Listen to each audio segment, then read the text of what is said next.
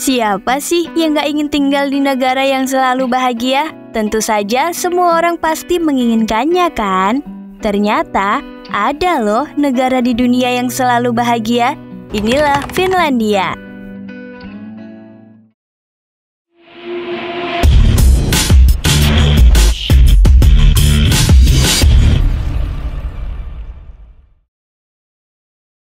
Hai hai hai sobat anak kuliah, balik lagi nih sama Mimin di channel YouTube Anak Kuliah.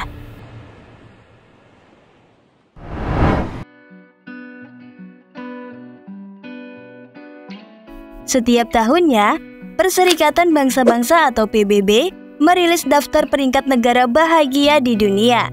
Daftar tersebut dapat menunjukkan negara apa saja yang paling bahagia, sehingga menjadi paling baik untuk ditinggali. Di tahun 2021, Finlandia kembali menduduki peringkat teratas pada kategori negara paling bahagia di dunia menurut World Happiness Report. Ini bisa terjadi karena di Finlandia, tingkat kebahagiaan masyarakat sangat tinggi dan menjadi salah satu negara terbaik dalam hal kesejahteraan serta kebahagiaan warga lokalnya. Finlandia, sebuah negara Nordik yang terletak di Eropa Utara terkenal dengan keindahan alamnya yang memukau, budaya yang unik, dan masyarakatnya yang bahagia. Ibu kotanya Helsinki adalah kota yang modern dan dinamis, dengan berbagai museum, galeri seni, dan arsitektur yang menarik. Finlandia memiliki banyak danau dan pulau serta hutan yang luas. Di utara, terdapat Laplandia, wilayah yang terkenal dengan Santa Claus, rusa kutub, dan aurora borealis atau cahaya utara. Negara ini terkenal dengan sistem pendidikannya yang berkualitas tinggi, jaringan pengaman sosial yang kuat, dan komitmennya terhadap kesetaraan gender. Finlandia konsisten menduduki puncak peringkat negara paling bahagia di dunia sejak tahun 2018. Lantas, mengapa Finlandia dinobatkan sebagai negara paling bahagia di dunia? Nah, ini dia alasannya kenapa warga Finlandia selalu bahagia. 1. Hidup yang santai Satu hal yang membuat negara ini menjadi tempat terbaik untuk ditinggali adalah cara hidup masyarakatnya yang santai. Rahasia kebahagiaan mereka terletak pada keseimbangan antara kehidupan pribadi dan profesional.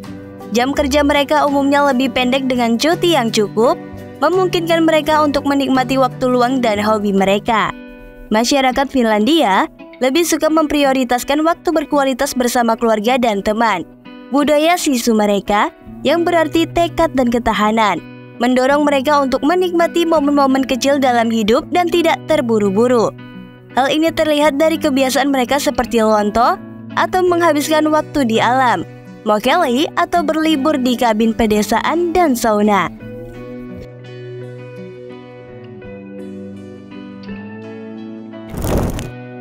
2. Pemandangan alam yang indah Alam telah menjadi bagian besar dari kehidupan di Finlandia. Ibu kotanya dikelilingi oleh pulau, hutan, taman nasional, dan laut. Salah satunya seperti danau yang terbesar di Finlandia yaitu Danau Saima yang menawarkan pemandangan yang indah.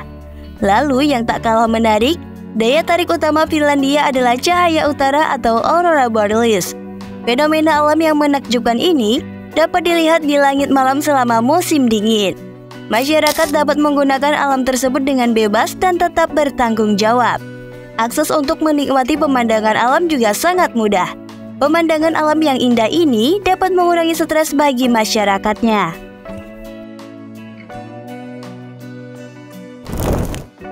Tiga, menghargai waktu. Masyarakat Finlandia terkenal dengan penghargaan mereka yang tinggi terhadap waktu. Hal ini membuat jam kerja sangat diatur agar tidak berlebihan dan dapat menikmati waktu luang dan akhir pekan. Kegiatan lembur di Finlandia sebisa mungkin harus dihindari karena itu dianggap sebagai kerja yang berlebihan.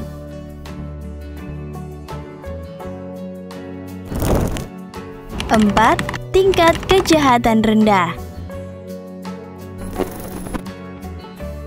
Tinggal di Finlandia membuat Anda merasa aman karena negara ini memiliki tingkat kejahatan yang sangat rendah. Masyarakatnya dapat dengan bebas berjalan sendirian di malam hari atau tempat yang sepi tanpa diselimuti rasa takut dan khawatir. Alasan dibalik rendahnya tingkat kejahatan di Finlandia bervariasi dan kompleks.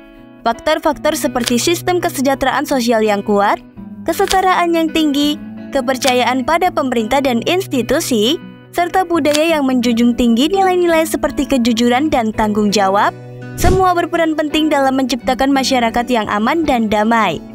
Finlandia bisa masuk ke dalam daftar liburanmu jika ingin berpergian sendiri nih. Tetapi bukan berarti di Finlandia tidak pernah mengalami tindakan kriminal ya.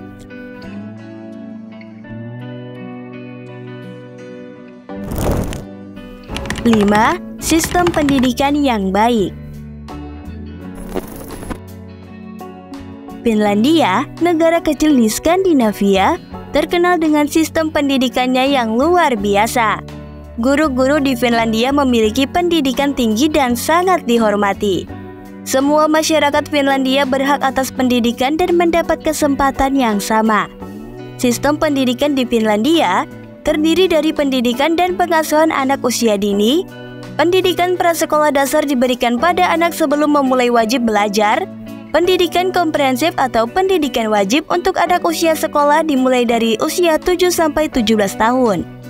Pendidikan menengah atas terdiri dari pendidikan umum dan kejuruan yang dimulai pada usia 18 tahun. Pendidikan tinggi atau universitas, terakhir pendidikan dan pelatihan orang dewasa untuk menjadi profesional di dunia kerja. Salah satu kunci utama sistem pendidikan Finlandia baik adalah Finlandia fokus pada perkembangan menyeluruh siswa, bukan hanya pencapaian akademis. Kurikulumnya dirancang untuk menumbuhkan keterampilan berpikir kritis, kreativitas, dan pemecahan masalah. Pembelajaran menekankan pengalaman langsung dan partisipasi aktif siswa. Hasilnya, sistem pendidikan Finlandia menghasilkan lulusan yang siap untuk memasuki dunia kerja dan menjadi anggota masyarakat yang bertanggung jawab. Tidak heran jika Finlandia menjadi salah satu negara dengan tingkat kebahagiaan tertinggi di dunia.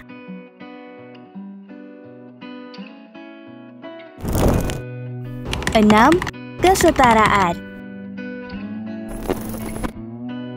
Hidup di Finlandia tidak membeda-bedakan setiap golongan seperti si kaya dan si miskin. Semua orang dianggap sama dan setara tanpa memandang latar belakang sosial dan ekonominya.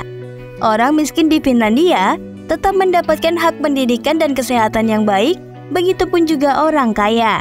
Tidak ada perbedaan di antara keduanya. Kelas menengah di Finlandia terbilang sangat besar dan tingkat kemiskinan yang kecil. Orang kaya di Finlandia banyak yang tidak menunjukkan kekayaannya.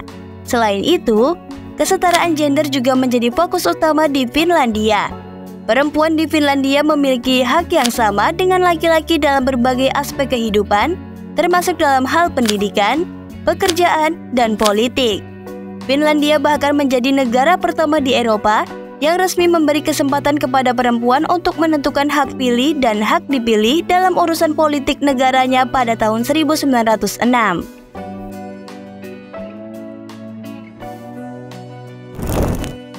7. Praktis dan serba digital Digitalisasi di Finlandia terbilang cukup maju karena masyarakatnya tidak takut mencoba sesuatu yang baru.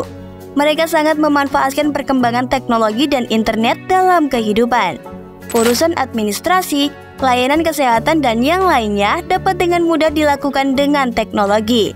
Pemanfaatan teknologi tersebut dibuat untuk menghemat waktu, sehingga hanya butuh waktu beberapa menit untuk mengurus sesuatu di Finlandia. Salah satunya penggunaan uang tunai sudah sangat jarang di Finlandia. Hampir semua transaksi dilakukan secara digital, baik melalui kartu debit, kartu kredit maupun aplikasi mobile banking. Hal ini dikarenakan infrastruktur teknologi di Finlandia yang sangat maju dan masyarakatnya yang terbiasa menggunakan teknologi dalam keseharian mereka. Jadi, secara keseluruhan, masyarakat Finlandia dapat dikatakan sebagai masyarakat yang praktis dan serba digital. Mereka memanfaatkan teknologi untuk mempermudah kehidupan mereka dan membuat segala sesuatunya lebih efisien.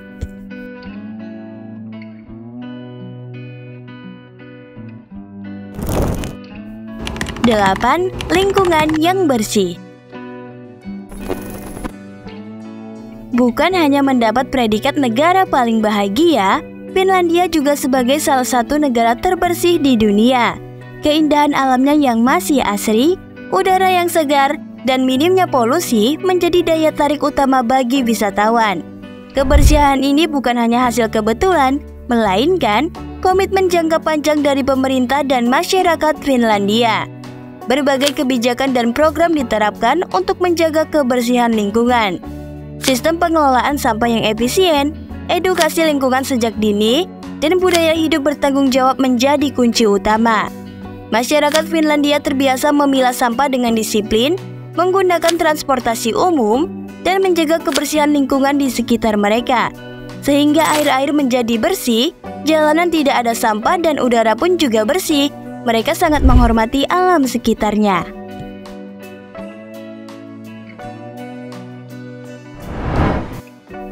Nah, tadi kamu sudah mengetahui alasan dibalik kenapa negara ini disebut negara paling bahagia di dunia. Kalau gitu, apakah tidak ada kesedihan atau kekurangan di negara ini? Hmm, ternyata guys, dibalik dengan predikatnya sebagai negara paling bahagia di dunia, ternyata menyimpan paradoks kelam. Di balik citranya yang gemilang, Finlandia memiliki tingkat bunuh diri yang tergolong tinggi loh. Bahkan, sempat menjadi salah satu yang tertinggi di Eropa. Pasti kamu bertanya-tanya kan, kok bisa Min? Jadi, beberapa hal ini dapat menyebabkan tingkat bunuh diri yang tinggi di Finlandia. Salah satu yang menonjol adalah musim dingin yang panjang dan gelap. Kurangnya sinar matahari dapat memicu depresi musiman sehingga bisa memperparah kondisi mental yang sudah ada. Faktor lain seperti kultur stoik Finlandia, di mana orang didorong untuk menekan emosi dan masalah pribadi juga menjadi penyebab bunuh diri yang tinggi. Stigma terhadap kesehatan mental dan akses layanan kesehatan mental yang kurang memadai di beberapa daerah pun memperparah situasi. Namun, beberapa tahun terakhir ini, tingkat bunuh diri di Finlandia telah terjadi penurunan yang signifikan. Upaya pencegahan bunuh diri dengan peningkatan layanan kesehatan mental, edukasi publik, dan program intervensi krisis telah membuahkan hasil. Meskipun masih banyak yang harus dilakukan, Finlandia menunjukkan bahwa dengan upaya yang tepat, tingkat bunuh diri dapat dikurangi.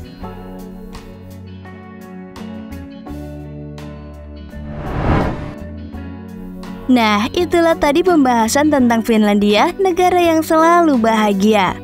Ternyata, di balik kebahagiaannya juga tersimpan kenyataan kelam seperti tingkat bunuh dirinya yang tinggi ya guys. Oke deh, biar kamu semakin paham dari pembahasan tadi, berikut Mimin rangkum ya.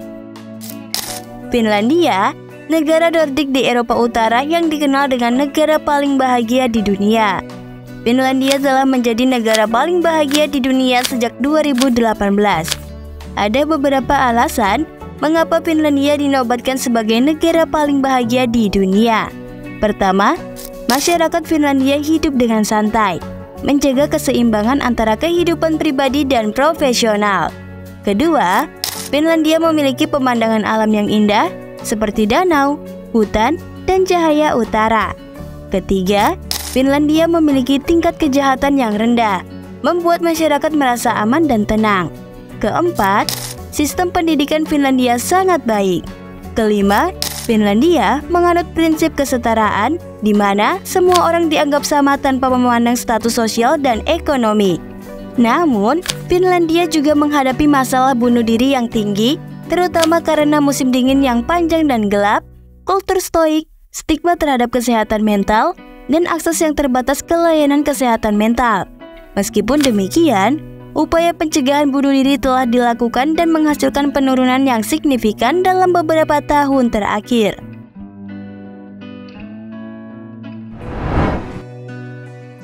Dari pembahasan kita tadi, apa nih yang bisa kamu ambil dan tidak dari negara paling bahagia di dunia ini guys? Boleh komen di bawah ya. Jadi sekian dulu video hari ini. Kalau kamu suka video ini boleh like dan share, serta jangan lupa juga untuk subscribe channel YouTube kita ya. Sampai jumpa di video selanjutnya. Tetap semangat dan teruslah belajar. Dan Mimin mau kasih tahu juga nih, buat kamu yang ingin nonton video-video pengetahuan tapi durasinya singkat, bisa lihat di YouTube Short kita ya guys. Kamu bisa cek profil YouTube anak kuliah dan klik bagian short. Untuk video panjang, bisa cek di YouTube video panjang kita. Lalu selain YouTube, anak kuliah juga ada akun Instagram loh. Nama username Instagramnya anak kuliah. Dan selain itu, kita juga ada akun TikTok dengan berbagai tutorial menarik. Jadi pastikan kamu subscribe akun YouTube kita dan follow akun Instagram serta TikTok kita ya. See you!